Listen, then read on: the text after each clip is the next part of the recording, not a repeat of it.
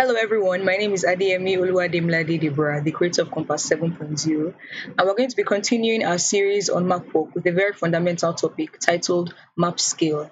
And this topic is basically the foundation of map work, but a number of students still make mistakes as a result of not understanding or confusing key concepts. So with that, let's get on to the video. Starting with the definition, Map scale is the relationship between the measurements on the map and the actual measurements on the ground. And this is just a picture representation of it. 2 centimeters on the map to 1 kilometers on the ground. Now, the different types of maps statement scale, linear scale, and representative fraction. You may be familiar with some of these words, while others may look a bit strange, but everything will be explained as we progress. Now, a statement scale. Some people may think that this map just includes only words, but don't let the name fool you and make you think so. Statement scale also includes numbers. We can see it in these three forms. These are just examples. One centimeter represents two kilometers, one centimeter represents one kilometer, one centimeter to one kilometer, even though it sounds the same when I'm saying it, but in written form, you can see the difference in them. So now I want you guys to try and guess which of them represents the map distance and which one represents the actual distance on the ground.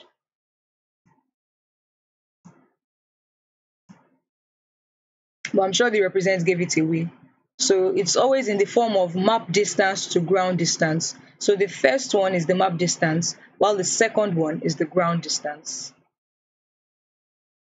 You'll hardly see these formats at the bottom of your given maps, either in your practicals or objectives, but they'll most likely be seen when you're asked to convert from one scale to another, that is, in your OBJ. Now, the next type of map a linear or a bar scale. This scale provides a visual representation as we have a line divided into equal parts, showing us the relationship. So the word linear just means a straight line, and that's how you see it in your objectives. It won't be as beautiful as the map I've given you here, sadly. But the one in your practicals looks promising. Again, the looks don't matter. This is an example of a linear scale. We have the primary division, that's the part after the zero, and the secondary division. So the primary division is the only one you need to be concerned about at this stage. So just ignore everything you see before the zero, the fractions, the numbers, no. You only need to focus on the primary division. And even in your examples or the ones in your exams, we are not going to see the secondary part. You may only see that in your practical, the big map you are given in practicals. But even still, you don't need to focus on the secondary division. Now let's look at some examples. I apologize in case the numbers may not be clear for some people, but I'm going to zoom in.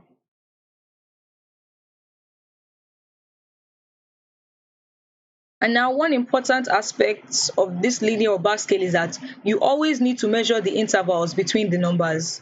So as you can see here, this is the secondary division, the parts before the zero, and here all the parts after the zero are the primary divisions, the part that we need to focus on. So for the purpose of this video, we're going to say that each of these, the interval between here is one centimeter. But in exam, always measure, do not assume please. So now focusing on the parts after the zero, we can see the difference in the numbers 0, 1, 2, 3, 4, 5 and take note of the units at the end even though it's, most, it's almost always going to be in kilometers but still take note you can never be too sure. So since the interval between the boxes is 1 centimeter and the numbers are moving in terms of 1 we can say that this is a map of 1 centimeter to 1 kilometer. 1 centimeter is representing 1 kilometer. one centimeter to one kilometer. And this is a form of statement scale, if you remember what we just did not too long ago. Now, the next question. Again, focusing on only the part after the zero. It's still the same space, the same distance as the one above, so we're still going to say one centimeter. But now notice that the numbers are moving in twos 0, 2, 4, 6, 8, and 10. So because the distance between the boxes is one centimeter, the numbers are moving in terms of two. This map is going to be two centimeters to represent one kilometer.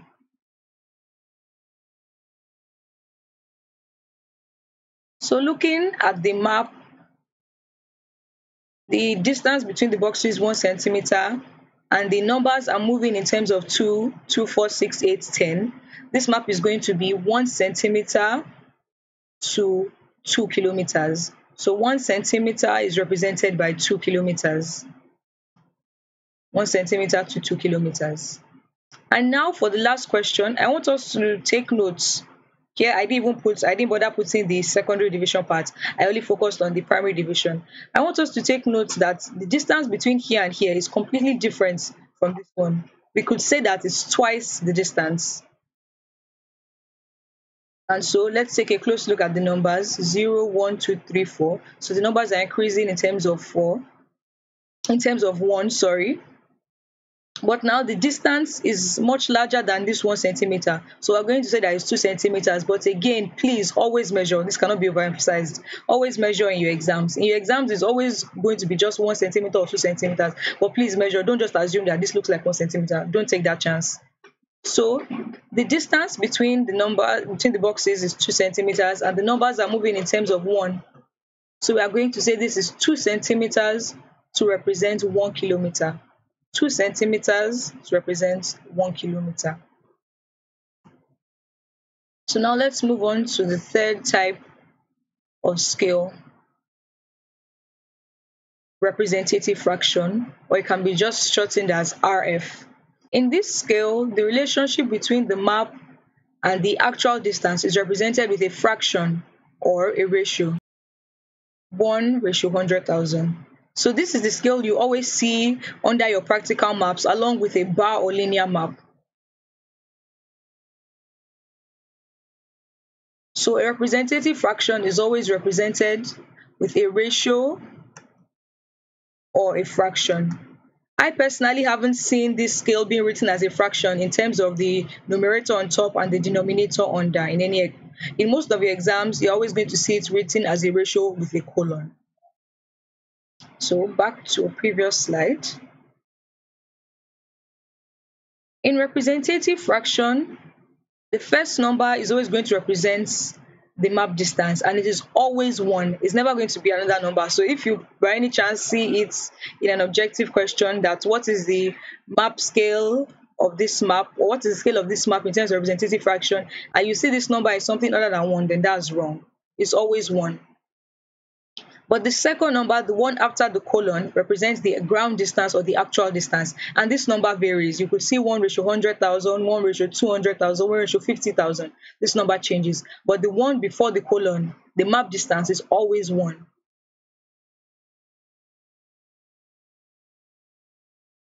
Now, in a representative fraction, both of the numbers are always in the same units. Some people may not know it or some don't just take notice, but they are always in the same unit, which is mostly centimeters. But since it's a ratio or a fraction, the numbers always, the units, sorry, always cancel out. So that's why in your practicals or wherever you see it written under your mapping practicals, you don't just, they don't write one centimeter ratio 100,000 centimeters, no, because the units cancel out. Now, this is where the application of our knowledge so far comes into play and also where exam questions are going to be from. Since the best way to learn is through practice, I'm going to explain this subtopic with the help of examples.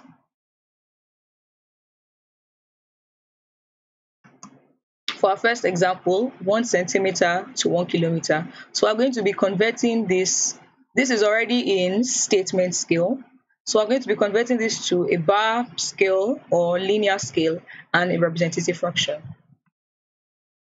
So one centimeter to one kilometer, first let's take this to representative fraction. Then from there, drawing the bar scale won't be too difficult. Now, one thing we should always note is this, that one kilometer is equals to 100,000 centimeters. So when you get to the exam or you don't need to start doing your calculation 10 centimeter makes this and that. No, just know that one kilometer is equals to 100,000 centimeters. So one centimeter to 100,000 centimeters respectively. Since we know that one kilometer is 100,000 centimeters, so one centimeter to one kilometer can also be written as this. And this is like the representative fraction that I showed you before. That since they are the same units, centimeters can cancel out. So we can now decide to make our first one the map scale, which is always 1, then 1 ratio 100,000. It can also be written as this. So you can first write it in fraction, then convert it to ratio.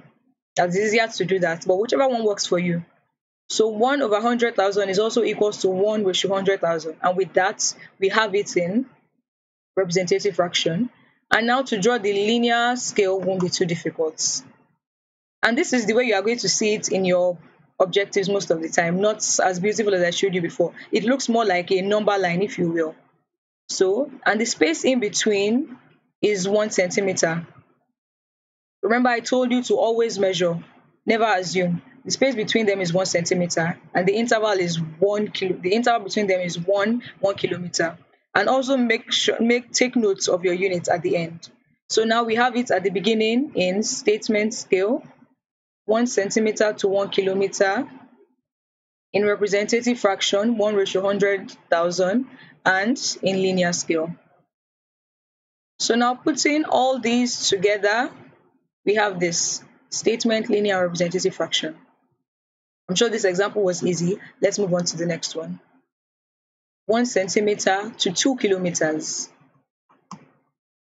So remember what I told you before, one kilometer is equal to a hundred thousand centimeters.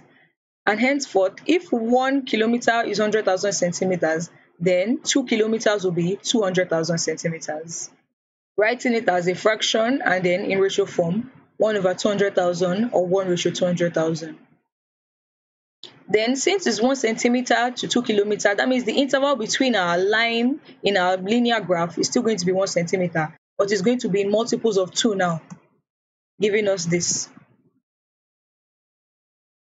interval of 1 centimeter between them, but the numbers are moving in twos.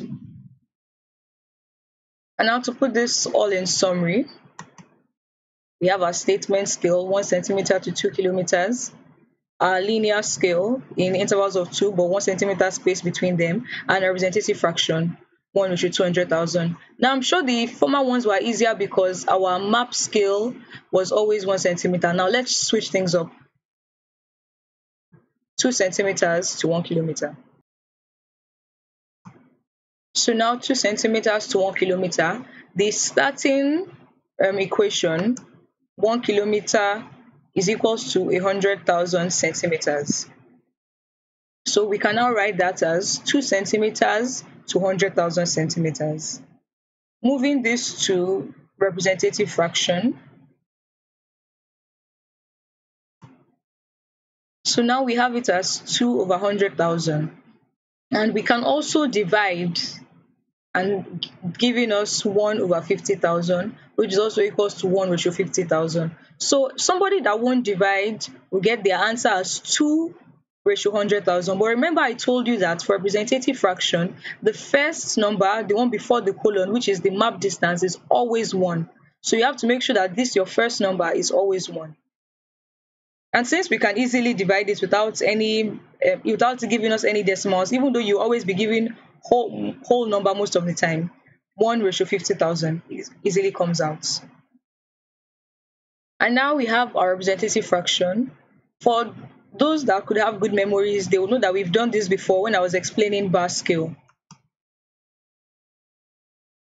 And so we have a bar scale as this. You can see that the difference between them is two centimeters. It's not small like the previous one. It's, it's a bit wider. So if you take if you measure this in your exams, you can see that this is two centimeters, but the interval between the numbers is still one. So we have two centimeters to one kilometer. So 2 centimeters to 1 kilometer can also be written as 1 centimeter to 0.5 or half a kilometer. This is just writing it so that we can have our statement scale also as 1 centimeter to something. But 2 centimeters to 1 kilometer is perfectly correct since it's a statement scale. But if it was a map scale, 2 ratio 100,000 centimeters won't be accurate. One ratio 50,000 is better. So always try to break it down, making our first one, making our first number before the colon one. To you guys to note something. Some may find this shocking, but one centimeter to one kilometer is actually larger than one centimeter to two kilometers. Some people may find this a bit confusing, but this is going to be explained when we start talking about map reduction and map enlargement. It will make it, things much clearer. And with that, we come to the end of the first part of this video on map scale. In the next video, we're basically going to be treating past questions on this topic from WAEC and NECO to better improve your understanding, so stay tuned.